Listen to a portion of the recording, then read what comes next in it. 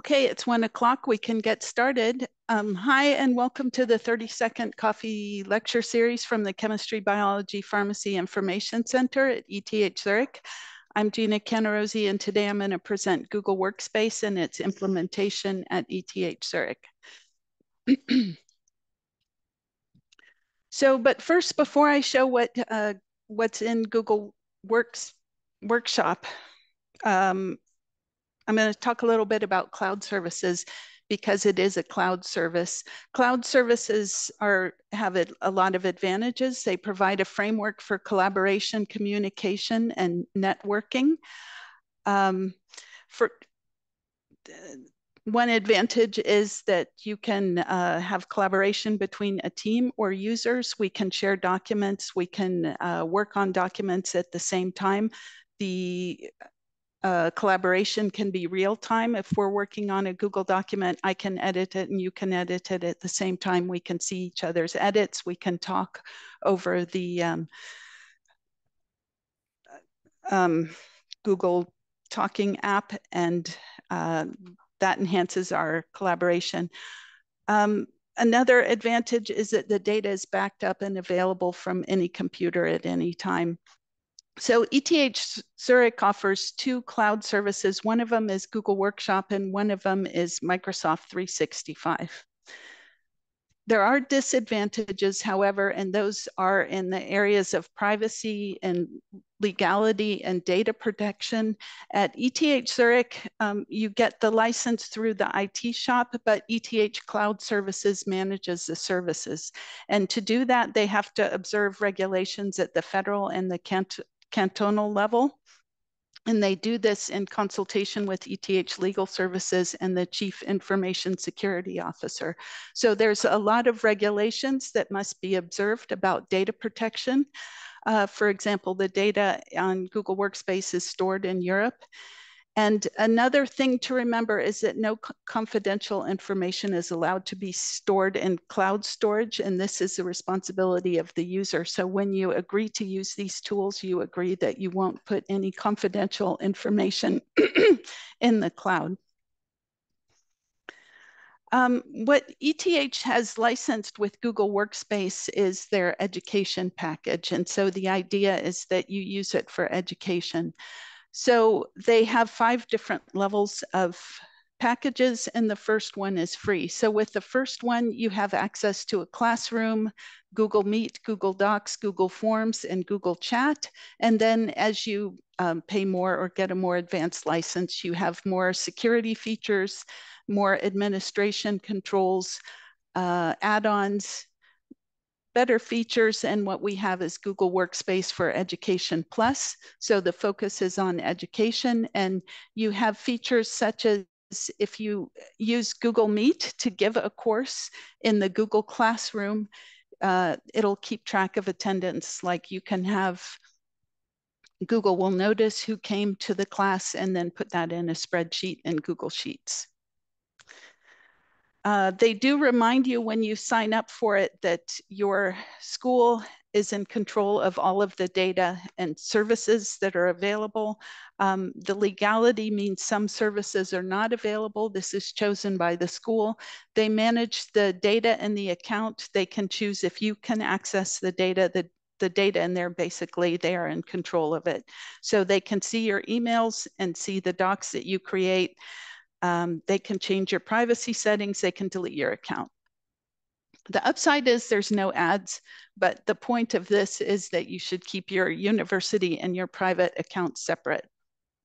So this is some of the tools available in Google Workspace. This is just a, a, smidgen of the tools available.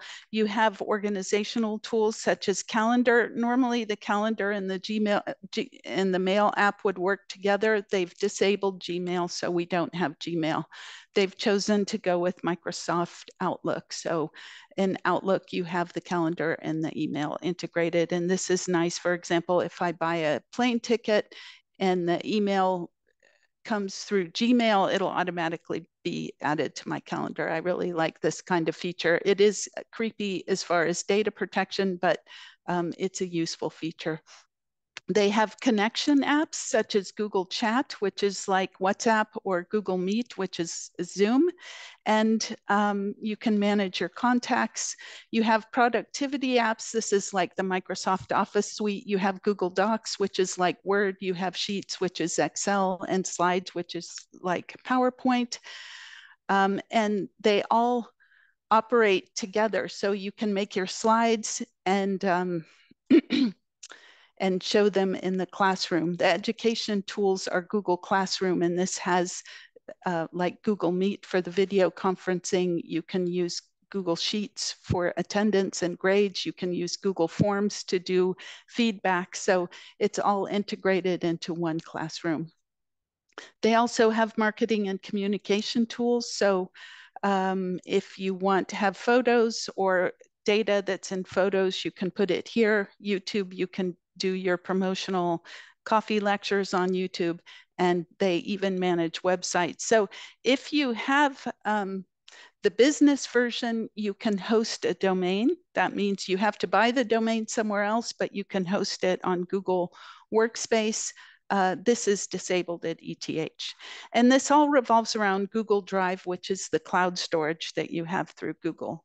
So all of this information from the forms, the docs, it all goes onto the Google Drive um, cloud storage. To see what apps are installed, you log in to uh, with your ETH. You have to request a license from the IT shop. You log in uh, with your ETH email address, and then you see the ETH here, you know you're in the ETH domain. If you click on this grid of nine dots, then you can see what uh, apps are installed. Um, this is the core tools. I don't need to uh, look at every single tool, but the important thing is that Gmail is disabled, and this is how many extra tools they have, and some of them are enabled and some of them aren't enabled. What's been deactivated are things you don't need for your university account like Google Pay, the location history, the ads are disabled, and the domain registration, unfortunately. Also the phone plan, but this is not a big deal. And then they have web and mobile apps, and these are all enabled, including Gmail. So I can use my ETH um, email address on the phone app, but not on the web. Okay, so if you look at some of the individual components, the first one is Google Drive, where um, it all the data is stored and I have my own personal drive, but I can create a shared drive. So I created a shared drive for the uh, InfoCentrum and now we can share um, files on this drive if you want. It's good if you're collaborating with people. It's good if you um, have big files that you need to share. ETH Zurich has 550 terabytes of data storage, which is half a petabyte, amazing. Staff get 100 gigabytes each, students have 20, and the shared drives are 100. To compare that, free Google is 15, so the students don't have that great of an advantage here. And with the Polybox, which is ETH's secure storage on secure servers, you have 50 gigabytes. So it all depends on the, the kind of data you have, but it's available if you want to use it. Um, for organization, you can use Google Calendar, which is really similar to Microsoft Outlook, which we're using. You can create personal calendars. You can subscribe to calendars. We at the InfoCentrum, for example, could make a calendar that has all the coffee lectures on it, and then people could sub subscribe to that and it'll show up right on their calendar. I think that also is available in uh, Exchange. And then there's more productivity um, apps here. For example, you can take notes. I use the task manager. You can manage your contacts. You can have maps integrated and the Zoom for Google Workspace. So for example, if you have a Zoom uh, scheduled, it'll go automatically onto your calendar. The productivity apps, as I mentioned, are the uh, doc sheets and slides. And what's nice is you have some templates. So I've shown letter templates here, but they have templates especially for teaching, which is the gradebook and attendance. Um, they have on the Google Sheets, a space for ETH templates. That means you can make templates at the ETH level. At the moment, that one's empty, but you can imagine that, uh, you know, a letter template or a spreadsheet template made at the ETH level. And so here's an example of the attendance spreadsheet.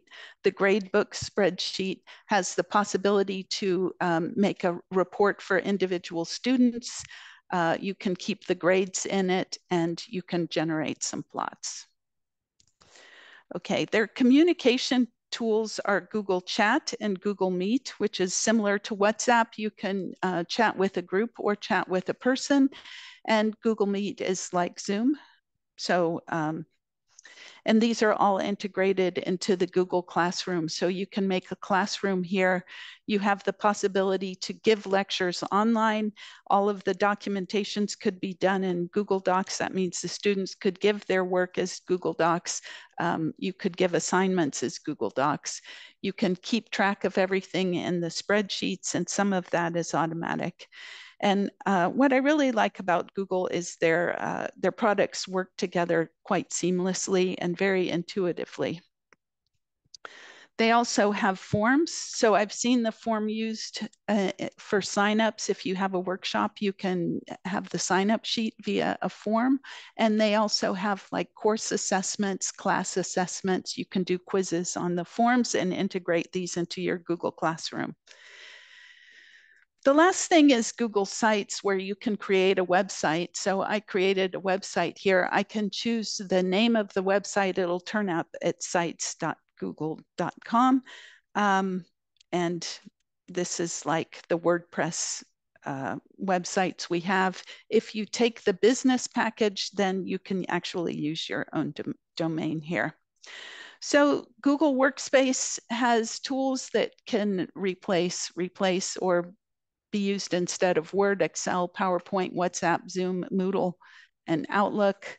They also have um, YouTube, a web presence, and a photo gallery. So it really is a complete package if you choose to put all of your eggs into the Google basket, which for reasons of data privacy might be questionable. So there's a coffee lecture card. Oh, I didn't put the address, but if you email me, I can give you the coffee lecture card. And I would like to remind everybody that next Tuesday, Oliver Wren will talk about basics of design in just 10 minutes. So thank you very much. I'm happy to take any questions. If there's questions online, just unmute, unmute yourself. Any questions in the room?